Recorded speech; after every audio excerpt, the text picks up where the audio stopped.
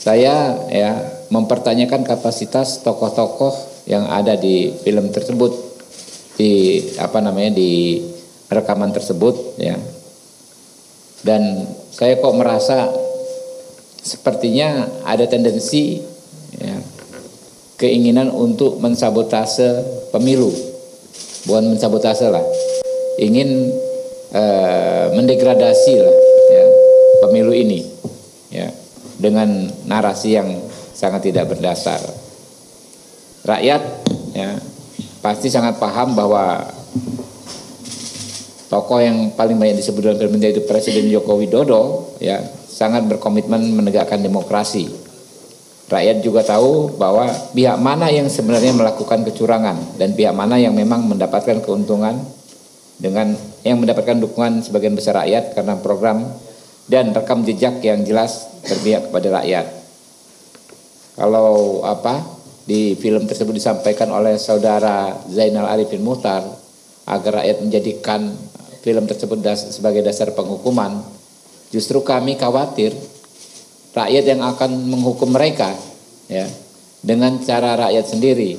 Jadi tindakan-tindakan mereka yang menyampaikan informasi yang sangat tidak argumentatif tetapi tendensius untuk menyudutkan pihak tertentu berseberangan dengan apa yang menjadi sikap sebagian besar rakyat. Yang saat ini saya lihat rakyat begitu antusias dengan apa yang disampaikan uh, Pak Prabowo soal melanjutkan segala capaian pemerintahan yang ada sekarang. Ya. Intinya ya kami menyerahkan, kami menyarankan kepada rakyat untuk tetap tenang, tidak terhasut serta tidak terprovokasi oleh narasi kebohongan dalam film tersebut serta tidak melakukan pelanggaran hukum. Kita harus pastikan pemilu 2024 berlangsung damai, luber dan jurdil. Pastikan rakyat untuk bisa menggunakan hak politiknya dengan sebaik-baiknya karena itu akan menentukan masa depan kita semua ke depan. Nah, ada tiga hal ya, teman-teman, dalam film tersebut yang perlu kami soroti secara khusus. Yang pertama pernyataan saudara Ferry Amsari soal penunjukan 20 pejabat kepala daerah di 20 provinsi dikaitkan dengan jumlah DPT 140 juta suara yang ekuivalen lebih eh, yang ekuivalen lebih dari setengah ya dari jumlah pemilih di seluruh Indonesia. Narasi ini sangat tidak ilmiah ya dan sangat tidak masuk akal. Susah sekali kita mencernanya. Bagaimana misalnya dia sebut uh, Pak Jokowi menunjuk 20 juta PJ kepala daerah. Jumlah penduduknya katanya lebih dari 50 persen. Lalu dikaitkan dengan istilahnya orkestrasi pemenangan salah satu paslon dengan jumlah pemilih 50 persen lebih dan sebarannya memenuhi ketentuan pasal 6 uh, Undang-Undang Dasar ya yaitu 20% suara di setidaknya 50% provinsi. Bagaimana bisa seorang PJ kepala daerah memastikan seluruh pemilih di daerah yang dipimpinnya untuk memilih sesuai dengan yang dikehendaki oleh orang yang menunjukkan sebagai, sebagai kepala daerah? Logikanya di mana gitu loh? Dengan kewenangan PJ kepala daerah yang jauh lebih terbatas daripada sebagai kepala daerah aktif ya. Bagaimana bisa? Eh, apa namanya? Skenario yang disampaikan Ferry Amsari itu terwujud. 20 kepala daerah ini yang penduduknya lebih dari eh, 50% ya memastikan orang di situ memilih paslon yang diinginkan presiden semua Nah itu kan berarti benar-benar narasi yang sangat spekulatif ya, nggak yang lemah secara argumen. Makanya jauh dari kata disebut ilmiah. Saya meragukan dia ini dokter atau bukan ya. Memang bukan dokter kali ya kalau Ferdian Sari ya. Coba dicek gitu kan ya. Oh belum, pantas juga. Jadi ilmunya belum sampai ke tingkatan yang filosofis. Cara berpikirnya ya sangat patut dipertanyakan. Kemudian pernyataan Bivitri Susanti yang kedua ya. Gini ngomongnya, saya mau terlibat dalam film ini karena banyak orang yang akan makin paham bahwa memang telah terjadi kecurangan yang luar biasa sehingga pemilu ini tidak bisa dianggap baik-baik saja. Pernyataan ini benar-benar tidak berdasar. Tidak disebut peristiwa kecurangan yang mana, ya. Peristiwanya yang mana? Apa buktinya? Bagaimana status pelaporannya dan bagaimana status penanganan perkaranya? Kan kalau kita bicara soal kecurangan harus faktual.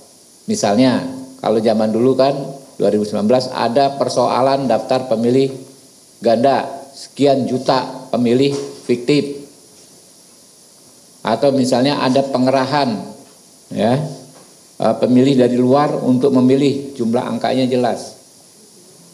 Bagaimana dia bisa mengatakan bahwa ada kecurangan eh, yang luar biasa? Apa luar biasanya gitu loh? Kalau ada satu dua PJ kepala daerah melakukan apa yang disebut pelanggaran, apakah sudah diproses secara hukum?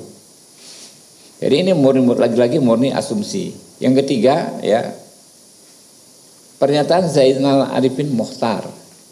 Ya, intinya mengatakan soal kepala desa, abdesi ya yang dikatakan eh, kepala desa digunakan untuk memenangkan paslon tertentu. Nah, ini juga nggak berdasar ya. Karena nggak disebut di kasus mana kepala desa ini sudah kerja, ya kan? Lalu memastikan warga di desanya memilih paslon tertentu. Bagaimana caranya? Sama kayak kepala daerah tadi kalau kita bicara hukum kan kita bicara sesuatu yang faktual. Kasusnya mana yang dilaporkan? Misalnya kepala desa A memaksa seluruh warga di desanya memilih paslon tertentu. Buktinya ada, saksinya ada, perkara yang sudah dilaporkan, Bawaslu sudah menangani dan Bawaslu membuat keputusan. Ya ini nggak ada semua. Jadi saya pikir ya, memang film ini sengaja didesain untuk diluncurkan di masa tenang ini ya Ya, karena cara-cara yang fair untuk bertarung secara elektoral sudah tidak mampu lagi mereka lakukan. Kita kan gini aja, kalau nggak suka dengan salah satu paslon, kan ini event pemilu. Ya kita dukung paslon yang lain, kita lakukan cara-cara yang sesuai koridor elektoral. Nah ini karena mungkin elektabilitas Pak Prabowo dan Mas Gibran terus meroket, bahkan sudah tembus batas psikologis sekali putarannya itu 50% plus satu suara, maka dilakukanlah cara-cara yang ini. Ya kami yakin ini pasti nggak laku ya di hati rakyat yang seperti ini rakyat sudah tahu ya eh, apa namanya apa yang harus mereka lakukan tanggal 14 Februari mendatang. Disebutkan juga mengenai ahli-ahli hukum. Ya. Nah saya ingin menambahkan satu hal saja.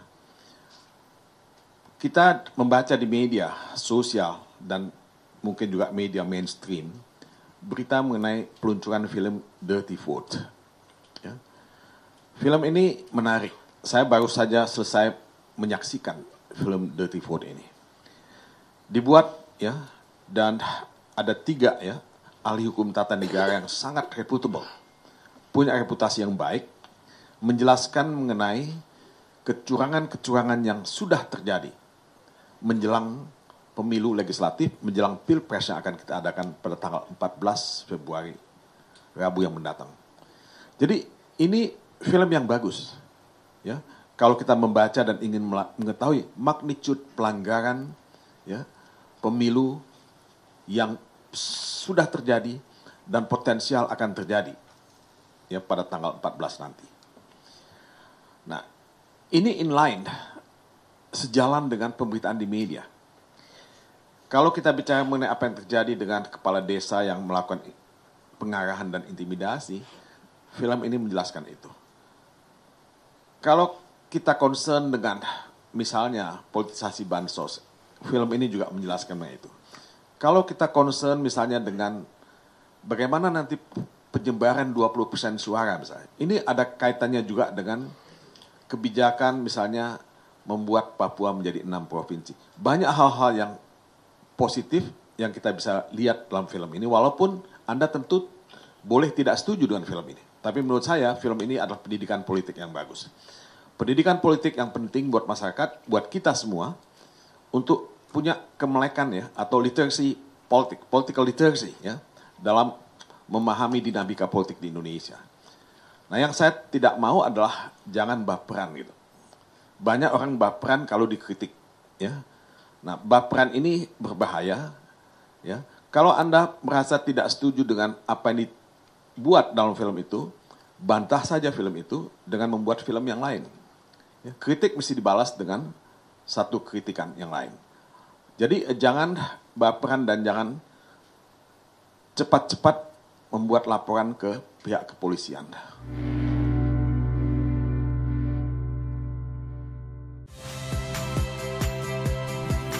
Saya Harjuno Pramendito. Saksikan program-program Kompas TV melalui siaran digital, pay TV, dan media streaming lainnya. Kompas TV, independen, terpercaya.